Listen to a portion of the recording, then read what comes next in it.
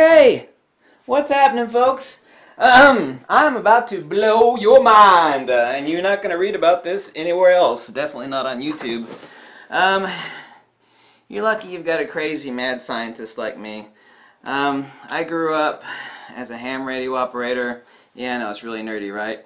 Um, studying the electromagnetic uh, charts that I had electromagnetic frequencies and uh, experimenting with uh, superconductors, which are not actually superconductors. They're incredibly low magnetic permeability using uh, yttrium barium copper oxide disks and uh, neodymium iron boron magnets. And uh, I'd actually go down to local gas place and buy liquid nitrogen because you got to cool down those uh, ceramic yttrium barium copper oxide disks for the magnet to levitate. But the way that uh, magnetic levitation works is uh, by cooling down uh, the uh, the ceramic disc. But you know that's a point for another discussion.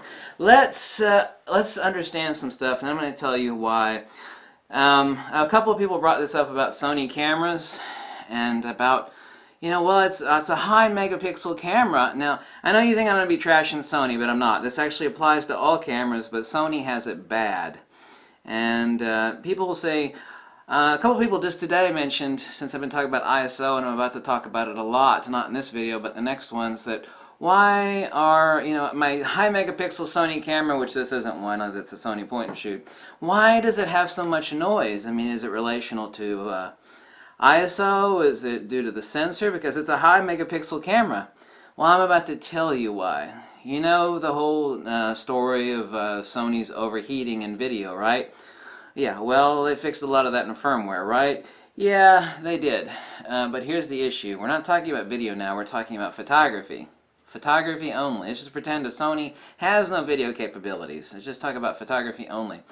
Let's first understand something really quick here, and it's something I learned at a young age, and most adults have no idea. If you think this microwave oven is any different from this camera, is any different from this uh, shortwave slash FM slash AM radio, then you, I'm gonna mean, I'm gonna say this in a nice way, and don't take it personal, then you are a crack smoking hippie.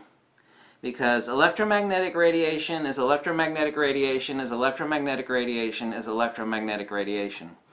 Light and this microwave and this radio, it's the same crap.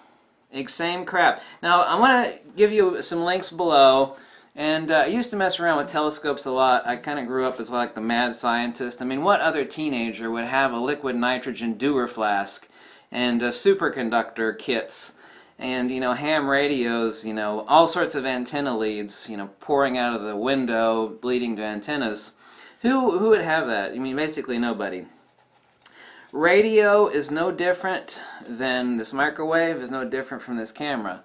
It's electromagnetic radiation, okay? Doesn't matter if it's light, it's radio, it's ultraviolet, it's the, uh, the magnetron inside this, which is dumping out uh, electromagnetic. And you could say a microwave heats up stuff. Now I'm going to give you the link below where you can actually see someone takes a Sony camera, it's a point and shoot, and he sticks it, and I've known this for ages, but this has like come to a surprise to people in camera world because they just don't have a damn clue about it. Pay attention, going to blow your mind. He sticks the camera, takes a picture, some pictures, and then he sticks the camera in a Ziploc, I believe, and then sticks it in the freezer for 20 minutes or something. Whips it out, takes some more pictures, and uh, oh my god, the noise is gone! Yay! The same reason the noise is gone is the same reason that all hardcore scientific equipment, like for astronomy, you can even buy them. They're uh, electrothermically cooled.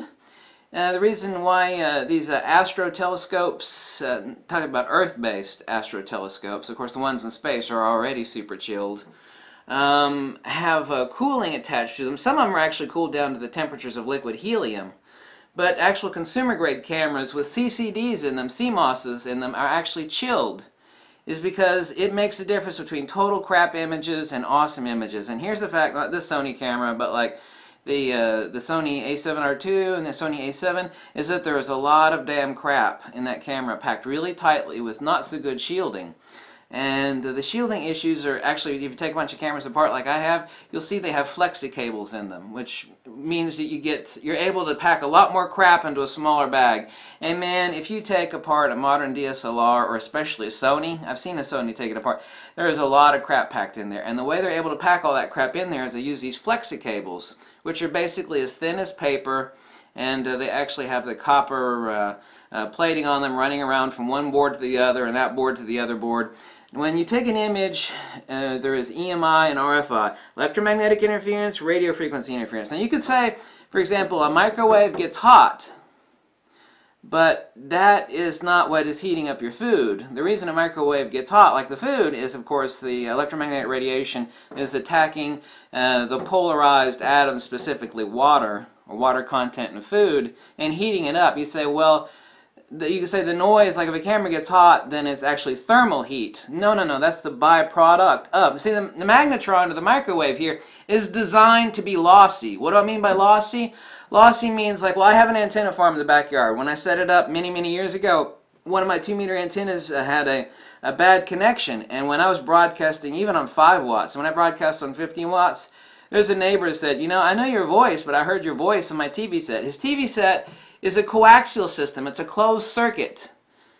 But my antenna, since it had a break in the RG8 cable, was being lossy. That's actually what it's called. It's called being lossy. It means it's actually dumping out all this electromagnetic interference.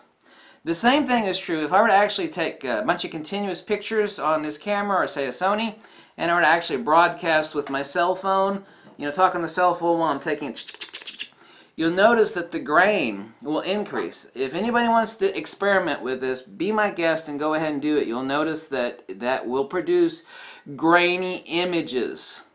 Check the links below of the uh, picture samples from the guy that stuck his Sony in the refrigerator and you notice like oh my god there's all this grain but he sticks it in the freezer and he takes the same picture and the grain is mostly gone I mean it's a serious serious difference um, people don't understand that the difference between light and electromagnetic radiation uh, in a microwave, for example, and electromagnetic radiation uh, that uh, this radio receives is the same crap. There ain't no difference, baby. It is zero difference. It is the same damn stuff. And what happens is, is when you got a camera with a serious buffer and it's got a hundred pounds of crap packed into a really, really, really tiny package, not this point and shoot, like a Sony a7R II. Um, for example, not so much on a Nikon DSLR or a Canon DSLR because they have really good shielding. It's a much bigger camera that's able to accommodate better shielding. And everything is not jammed up against everything else. It's kind of like if you got 100 people in a small room and someone farts, you know, everybody gets sick. Ah! Right? Proximity is shielding issues. Um, the heat that was uh, an issue with video recording is also the same heat that's an issue with photography. Now, they actually had a firmware update to fix that. But the fact is that they use a lot of uh, flexi cables in a Sony a7R II, and you have to admit, this is undeniable hardcore fact, there, there is a ton of crap packed into a Sony a7, a7R II. So people that are actually telling me, I was going to make this video, but I decided to move it up. People are telling me, I don't understand why the hell my Sony's got such a high megapixel count, and why the hell it's so grainy. I've been taking pictures and all of a sudden the pictures are really grainy. Heat, heat. It's not the thermal heat, it's the lossiness, electromagnetic interference, radio frequency interference, electromagnetic radiation, EMI, RFI, and EMR, electromagnetic radiation. Let's say, for example, you know, you've got uh, a camera you turn on, it's cold, and uh, people wonder why, people have actually asked me, it's like, why is it my pictures are less grainy when I'm out shooting on a cold night? Thermal, right? It is a case when cameras heat up, especially cameras that are really lossy. That's actually what it's called, it's being lossy. Okay, it sounds kind of a weird word, but anybody that's into ham radio knows this term well. It's called being lossy. When you actually chill something, like they do in uh, high scientific uh, CMOS uh, cameras, or uh, yeah, CMOS cameras, that, uh, that the image gets, oh my god, all the noise disappears. They're actually chilled. There are different ways to chill them. They chill them using liquid nitrogen, liquid uh, helium.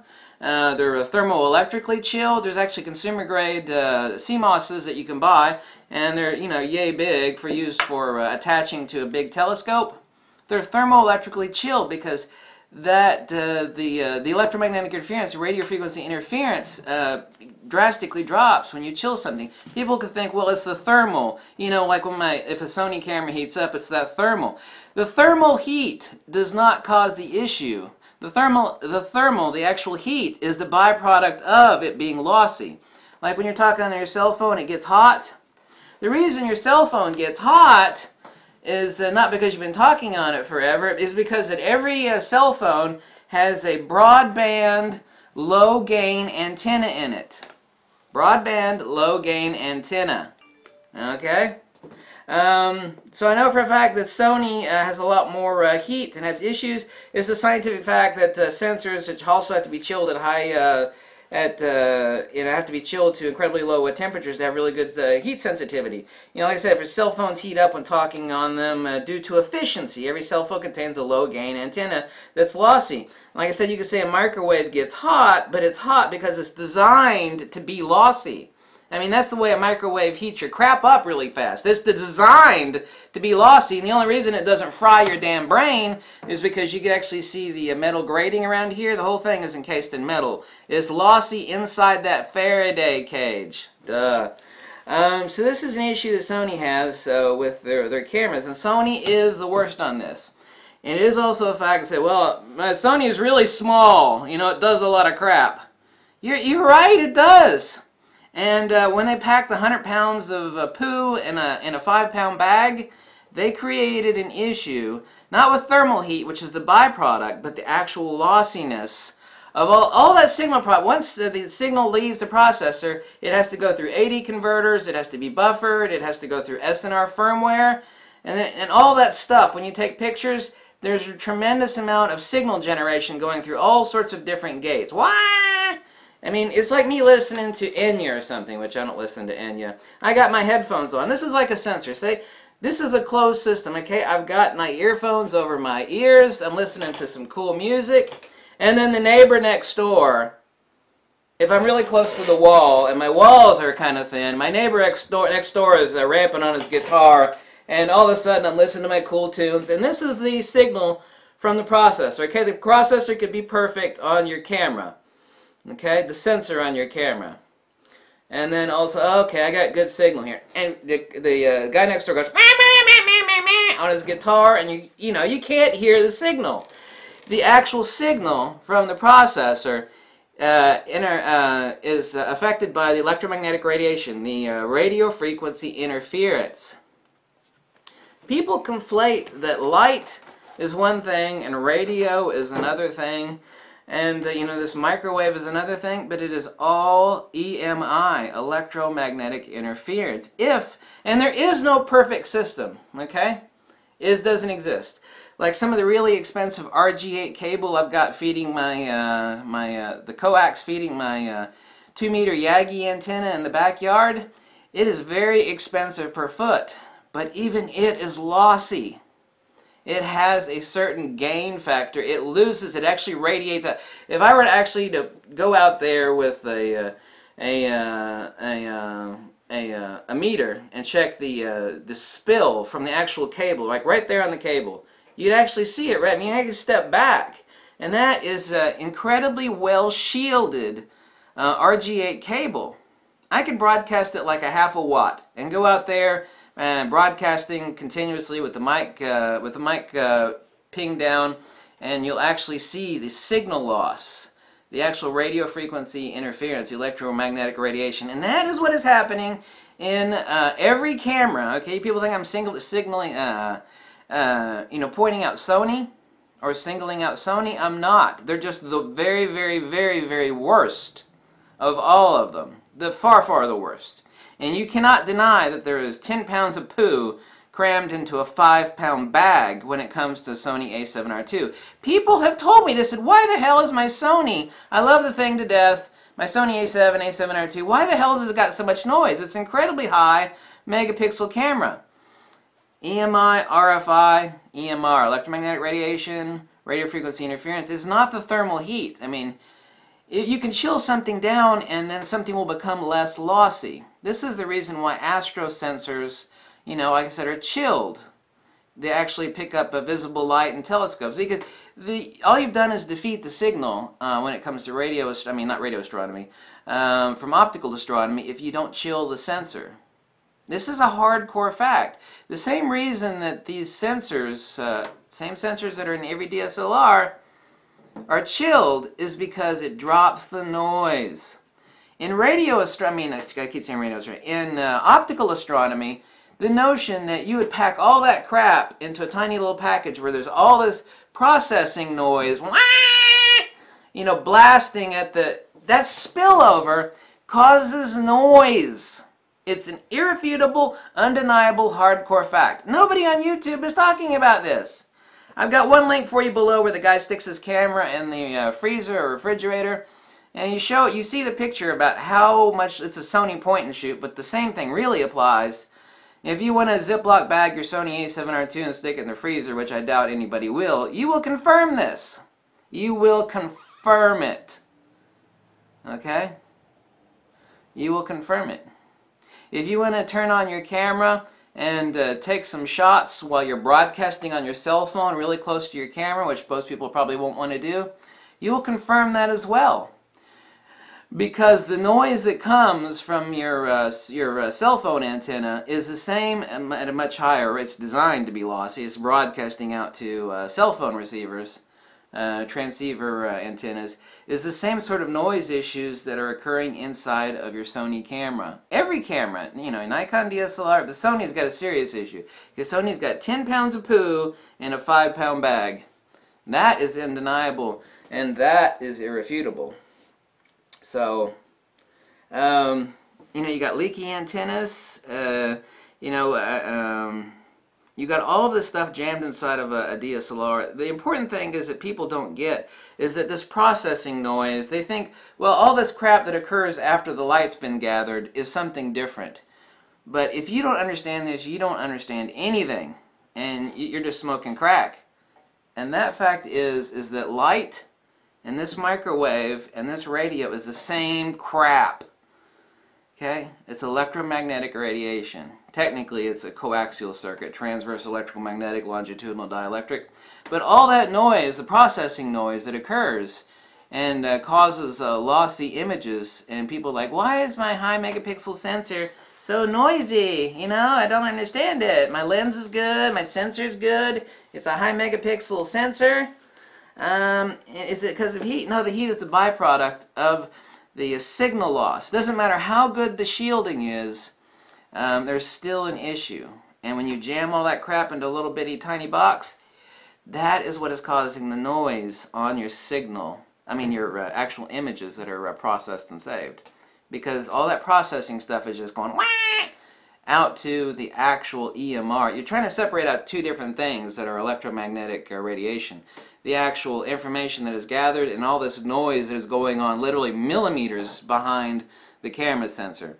I mean, that is just like, you know, me leaning up against the wall with my headphones on. I'm trying to gather a signal from my processor, in this case my headphones, listen to some music, and the neighbor next door is going on his guitar.